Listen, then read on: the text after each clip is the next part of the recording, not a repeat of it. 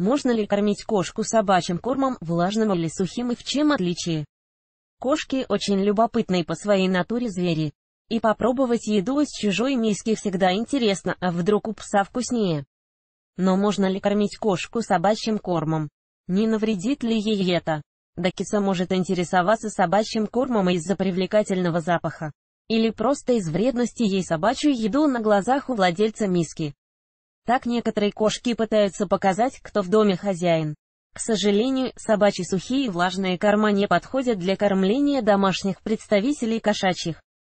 Но почему? Чем отличается корм для кошек от корма для собак? В качестве лакомства. Если кот однократно съест пару корешков из миски собаки, не страшно. Но давать по чуть-чуть каждый день вредно, так как это нарушит весь баланс микро- и макроэлементов в рационе. Если хочется побаловать любимую кошечку, лучше дать ей мягкий корм или специальное кошачье лакомство. Можно ли давать собачий сухой корм кошкам как лакомство? Да, можно, но очень редко. А можно ли давать собачий корм кошкам и разрешать есть им с одной миски в течение длительного времени кормления кота собачьей едой? На постоянной основе может плохо кончиться. Недостаток белка, таурина и других питательных веществ приводит к расстройствам желудочно-кишечного тракта, ЖКТ. Разница в составе кормов колоссальная. Кроме того, энергетическая ценность собачьего готового питания отличается, она ниже, чем у кошачьего. Это тоже может отразиться на здоровье любимца. Но чем отличается корм для собак и кошек? Как отличить сухой корм кошек и собак? Стоит разобраться, чем отличается сухой корм для кошек от корма для собак и можно ли кормить кота собачьим кормом. Различия в питании напрямую зависят от потребностей животных. У кошек и собак разные потребности в питании кошки, облигатные плотоядные, хищники. Это значит, что в рационе должно преобладать мясо, из которого животное получает необходимое количество животного белка. К тому же корма для кошек содержит жизненно необходимый им таурин. Собаки – факультативные, всеядные, хищники. Их организм не нуждается в таком количестве белка. Также у собак другая потребность в витаминах и минералах. Собачий организм способен вырабатывать витамин А ретинол, когда кошачий организм должен получать этот витамин из еды. К сведению, кошачий корм рассчитан идеально под потребности котов, собачий под потребности собак. Поэтому лучше не экспериментировать и не кормить кошек собачьей едой. Количество белка белок протеин – строительный элемент клеток организма. Из белка синтезируются необходимые аминокислоты. Кошачьему организму для нормального функционирования необходимо 22 аминокислоты. И только 12 из них он может синтезировать самостоятельно. Очень важно, чтобы кот получал достаточное количество белка, иначе нарушение метаболизма не заставят себя ждать. Белки необходимы для роста организма, отложения энергии, а также нормального функционирования иммунной системы. Для среднестатистического кота нормы белка таковы. Стадия роста 30% белка от всего рациона, взрослая кошка 20-25% белка от всего рациона, беременность и кормление 35-40% белка от всего рациона. Обратите внимание, кошкам с проблемами почек назначают диету с пониженным содержанием белка. Но это не значит, что белок можно полностью исключить. Лечебную диету назначает строго ветеринар. Витамина ретинол кошачий организм не синтезирует витамина. Крайне важно давать домашнему любимцу еду, в которой этого витамина достаточное количество. Отсутствие ретинола может привести к проблемам со зрением и нарушениям в иммунной системе. Беременная кошка без этого витамина не сможет выносить котят. Суточная потребность в витамине А63 микрограмма. Ретинол содержится в следующих продуктах рыбий жир, яйца, говяжья печень, морковь, рыба, тыква, картофель, авокадо. Но чем высчитывать необходимое количество каждого продукта для составления рациона, всегда проще насыпать готовый корм, в котором уже все есть. Продукты, богатые витамином А, добавка таурина таурин, незаменимая аминокислота, которую кошачий организм тоже не может синтезировать самостоятельно. А значит, нужно обеспечить кошке ее поступление с пищей. Таурин влияет сразу на несколько систем организма, сердечно-сосудистую, зрение, пищеварение, половую, иммунную. Суточная потребность кошек в таурине 400 мг кг. Рассчитывается исходя из веса конкретного животного. Таурин содержится в следующих продуктах. Морепродукты, индейка, куриные яйца, красное мясо, куриный мозг. Обратите внимание, оптимальные показатели содержания таурина в сушке 1000 мг на 1 кг корма. Для влажного вида 2000 мг на 1 кг корма. Следует опираться на эти показатели при выборе марки производителя. Чем отличается влажный корм кошек от собачьего влажные кошачьи корма отличаются от влажных собачьих по составу. Правило кормления аналогично с сушкой, нельзя длительное время кормить кошек жидким собачьим кормом. Если однократно дать собачью еду, ничего страшного, но на постоянной основе это приведет к проблемам с жиготе. Влажное питание для собак аналогично сухому содержит недостаточное количество макро- и микроэлементов, чтобы поддерживать нормальный обмен веществ у кошачьих.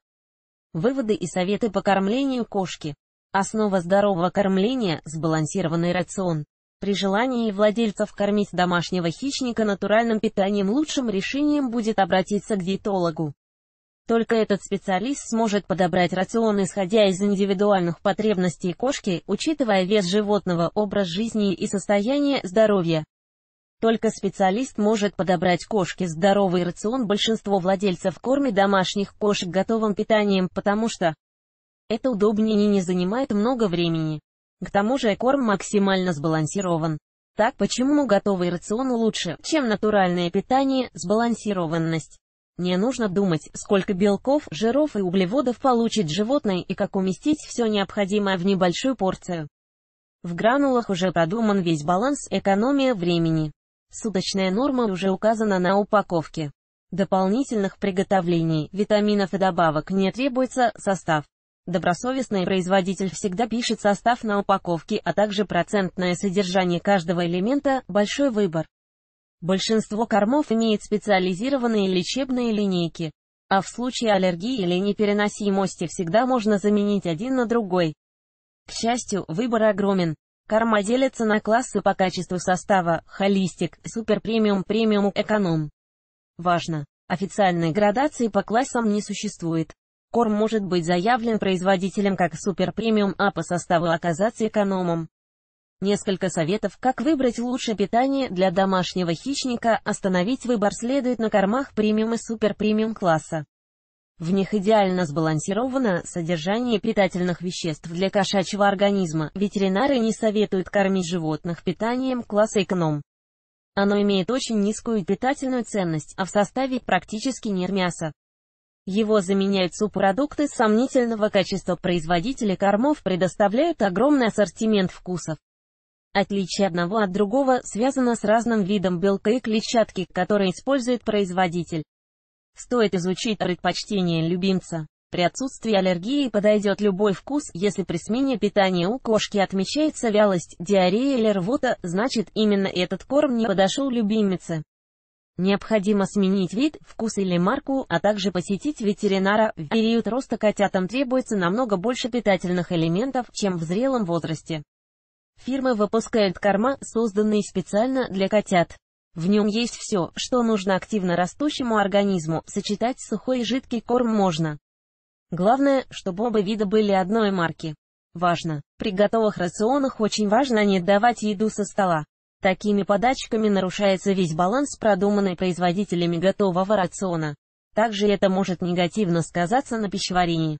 Кормление питомцев в разных комнатах, кошки, животные, которым категорически нельзя голодать. Голод более 18 частей опасен для их организма. При нормальном весе зверя миска с кормом должны стоять постоянно. Если прописана лечебная диета или диета для похудания, еду стоит давать только на время кормления 15-30 минут. Закрывающая круглая скобка точка. Если кошка, несмотря на запреты, ворует еду у собаки, значит, необходимо кормить животных в разных комнатах, либо контролировать собачью миску, пока пес не съест свою порцию.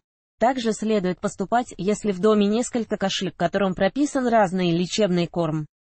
В таком случае еда не стоит постоянно оставиться на 15-30 минут.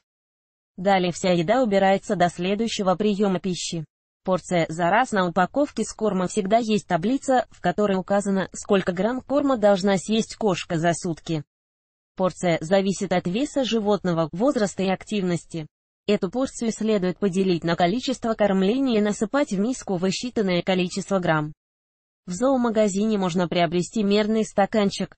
Им удобно отмерять порцию для кормления.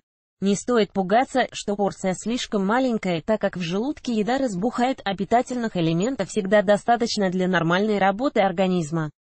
Таблица расчета корма хранения корма. Правильное хранение кошачьей еды – залог здоровья. Нередки случаи, когда животные травились хорошим кормом, который просто неправильно хранили. Несколько простых правил хранения. Необходимо обратить внимание на сроки годности при покупке корма.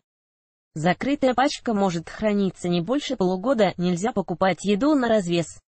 Никто не знает, в каких условиях хранился этот корм и действительно ли это та марка, за которую ее выдает продавец.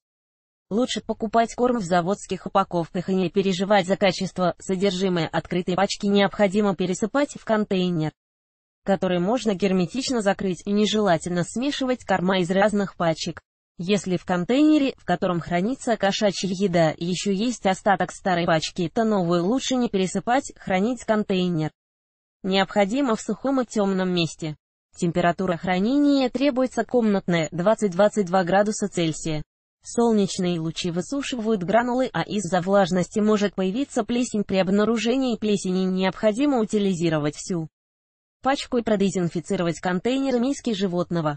Обратите внимание, у кота всегда должна стоять миска со свежей водой. Если любимец мало пьет, можно поставить питьевые фонтанчики. Можно ли давать собачью еду кошкам? На постоянной основе нет однозначно. Но если кот не имеет проблем со здоровьем, ожирением или аллергией, то можно баловать его парой зернышек собачьего корма раз в месяц. Точка.